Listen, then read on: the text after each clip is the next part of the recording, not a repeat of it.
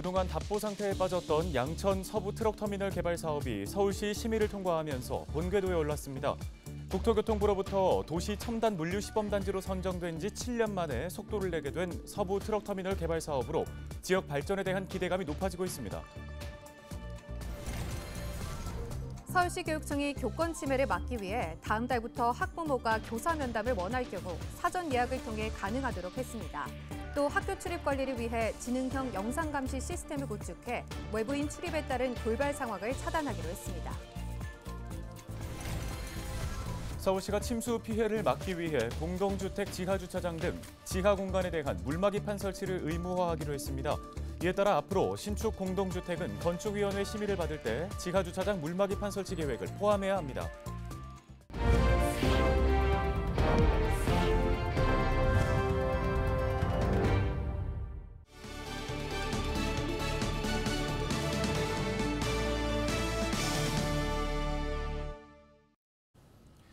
여러분 안녕하십니까? 헬로티비 뉴스입니다. 첫 소식입니다. 서부 트럭터미널 개발 사업이 지난달 서울시 심의를 통과하면서 본궤도에 올랐습니다. 국토교통부로부터 도시 첨단 물류 시범 단지로 선정된 지 7년 만인데요. 이 지지부진했던 숙원 사업이 속도를 내면서 양천 지역 사회는 기대감으로 들썩이고 있습니다. 심다혜 기자가 서부 트럭터미널 일대를 둘러봤습니다. 서부 트럭터미널 개발 사업의 부지 면적은 약 10만 제곱미터, 하남 스타필드의 두 배에 이릅니다. 총 사업비만 1조 7천여억 원이 들어갑니다. 개발이 완료되면 주거와 쇼핑, 물류 기능이 결합된 복합 시설이 들어설 예정입니다. 공공기여분으로 수영장과 다목적 체육관을 포함한 체육센터와 창업 지원 시설도 조성될 예정입니다.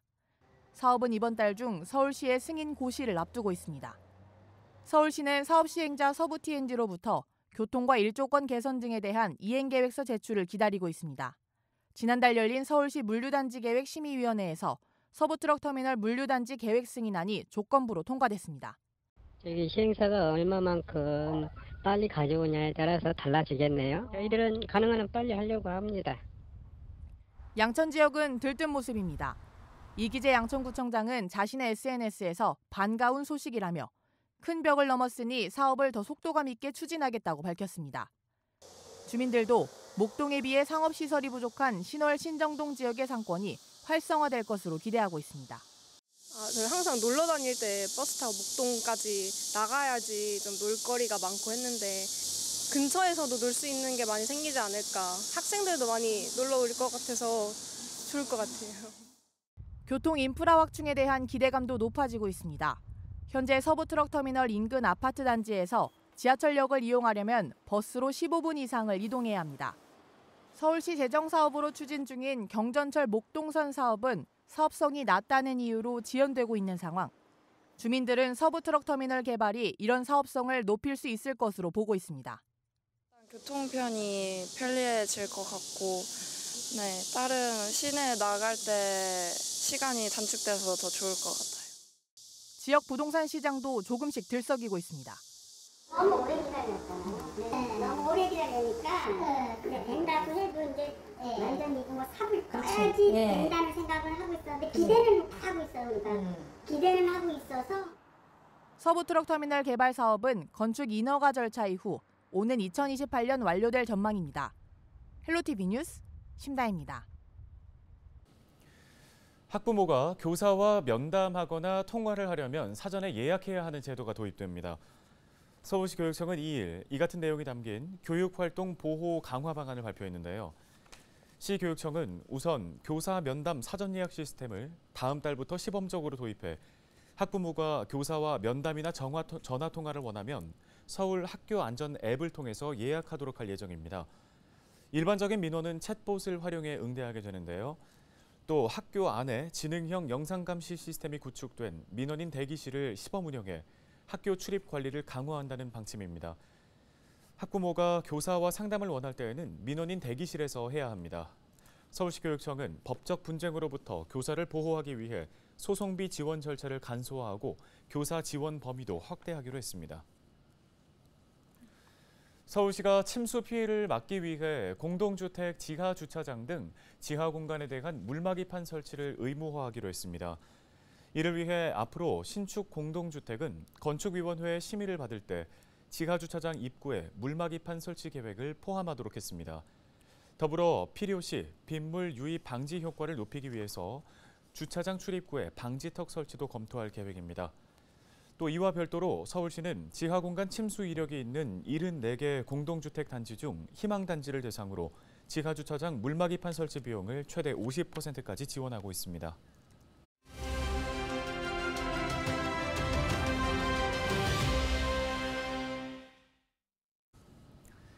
제11대 서울시의회가 개원한 지 1년이 지났습니다. 아, 양천구는 목동 아파트 재건축, 목동 유수지 개발 등 서울시와 함께 추진해야 할 굵직한 현안들이 많아 시의원들의 역할이 중요한데요. 미니 인터뷰 오늘은 목일동 등 양천구 다섯 개 동을 지역구로 둔 서울시의회 허운 의원을 만나 우리 지역 시급한 현안에 대한 이야기 들어봤습니다.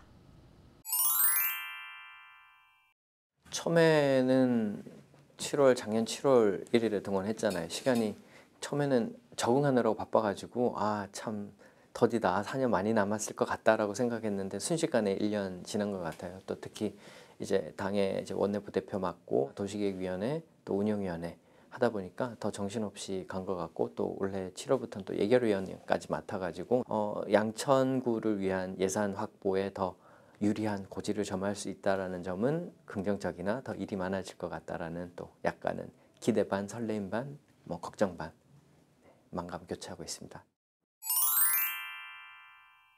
1, 2, 3단지만 이종으로 돼 있었다는 약간 불합리한 부분에 있어가지고 계속 요구를 했던 거고 그 일정 부분 주민들의 말이 맞다라고도 시에서도 인정을 하고 있어요. 그러나 이제 무조건적인 종상향은 해주기가 조금 곤란하다 해가지고 지금 주민들하고 지금 어, 협의를 계속하고 있고 기존에는 이제 한 20% 종상향되는 부분에 대해서 공공기여를 좀 해야 된다라고 했었는데 그 조건들을 좀 바꿔서 하려고 지금 어, 최종의 결정 고시를 좀 밀어놓고 있는 상태고 한 8월, 7월 말 8월 곧 아마 고시가 나오면 그 이후의 단계들이 재건축 단계들도 진행이 될 것 같습니다.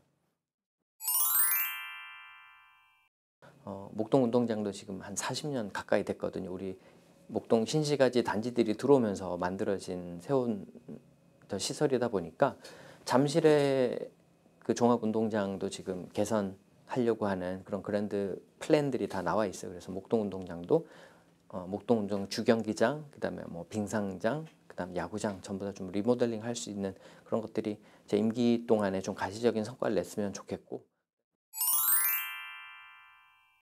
그거는 이제 저희 입장에서는 이전하고 싶지만 또 받을 이전을 하려고 하는 상대 그 기지를 받아야 되는 그 장소가 있어야 되는 거잖아요. 그래서 경기도 어 그다음에 인근에 있는 다른 시도하고 같이 계속 협상은 진행 중에 있습니다. 그래서 주민들이 이전을 원하는 만큼 끝까지 어, 이전을 최종 목표로는 두고 있지만 그게 단시간에 어, 해결하기는 조금 어려운 측면이 있다라는 것 어, 이해해 주셨으면 좋겠고 또 다른 한 가지 이제 목동 유수지 관련해 가지고 지금은 이제 주차장 테니스장으로만 사용하고 있잖아요. 그 부분을 좀 복합 스포츠 컴플렉스로 좀 개발을 해서 또 그 목동 우리 재건축이 끝나면 주민들이 다 이용할 수 있는 그런 스포츠 어, 컴플렉스로 좀 활용할 수 있도록 구청과 또 시와 또 긴밀하게 소통하고 있습니다.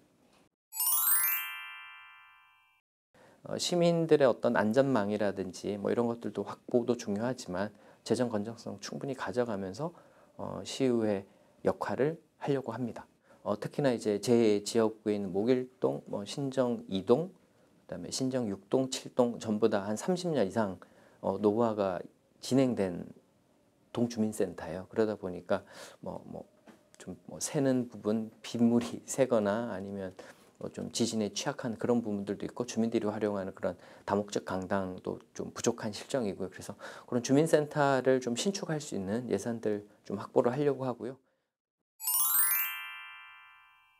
구의원들은 지역에서 자주 보여가지고 얼굴을 알 수 있고 또 국회의원은 또 언론을 통해 가지고 얼굴이 많이 알려지는데 저희는 중간에 딱 광역원은 중간에 있다 보니까 언론 활동 뭐 미디어 통해 가지고 보도 자료를 내도 받아주는 데가 또 그렇게 많지가 않아 가지고 약간 또 서러움도 느끼고 그래서 더 또 열심히 해가지고 아 허훈이 하니까 다르다 아, 기존에 했던 의원들하고는 정말 다르네라는 평가를 받고 싶고요 그렇게 평가받기 위해서 또 열심히 하겠습니다.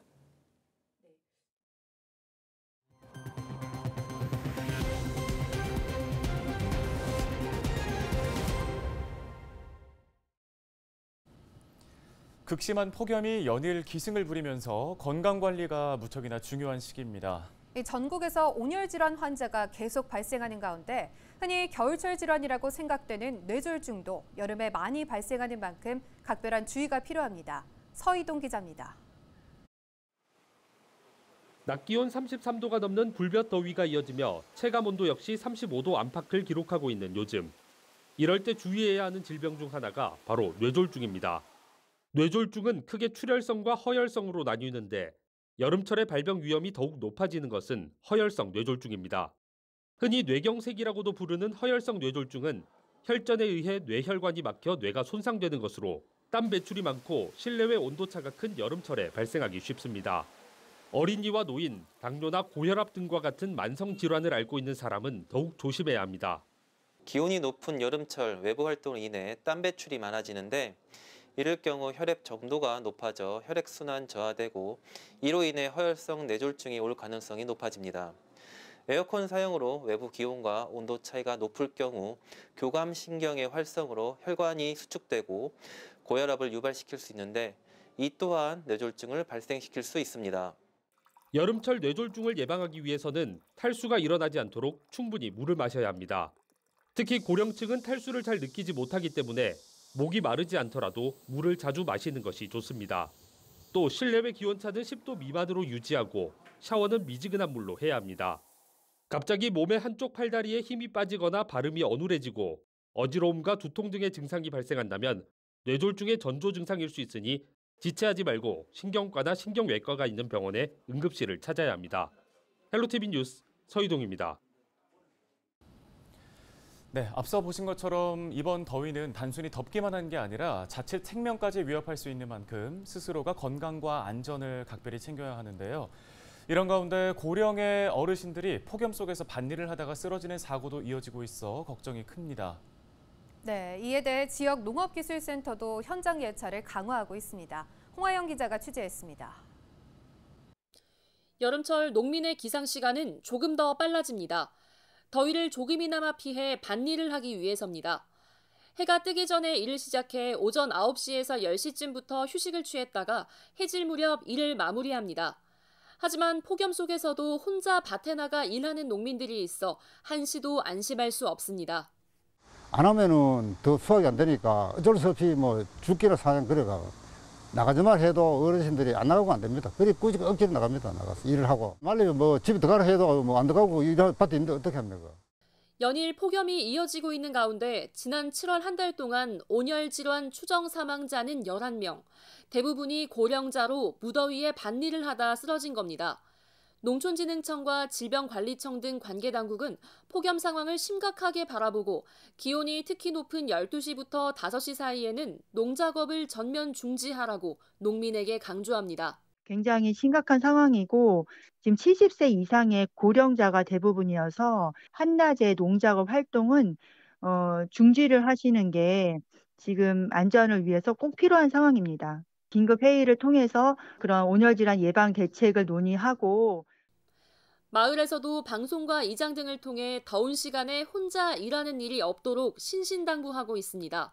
농진청은 농작물 관리에 집중해 오던 현장 기술 지원단이 농업인의 온열질환 사고 예방까지 맡도록 했으며 시군 농업기술지원센터도 농업인 안전에 대해 예찰 활동을 강화하고 있습니다. 여러 대책이 나오고 있지만 가장 중요한 것은 농민 스스로가 건강과 안전을 지키는 겁니다. 헬로티비 뉴스 홍아영입니다. 다음 소식입니다. 은평구가 오는 8월 3일부터 찾아가는 전세 피해 지원센터를 운영합니다. 센터는 신축 빌라가 많고 구청 방문이 힘든 직장인 피해자를 위해 응암역과 불광역, 구산역에 마련될 예정인데요. 센터에서는 피해자 가정 재무 상담과 채무 조정 신청, 맞춤형 서비스 등이 제공됩니다.